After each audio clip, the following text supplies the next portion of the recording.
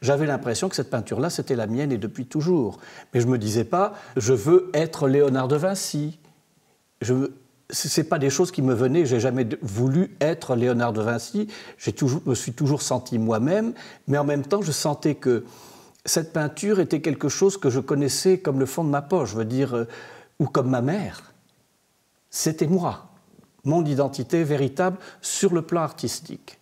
Et donc le chemin à l'intérieur de cette technique et de cette recherche m'était facilité parce que euh, je raisonnais correctement au fur et à mesure des étapes qu'il y avait à, traverser pour arriver au but. J'ai très très rapidement compris à quel point, euh, et je pense que c'est même pas encore compris de nos jours, à quel point le génie de Léonard en tant que peintre est absolument supérieur et prime sur tous les autres génies de l'art d'essence.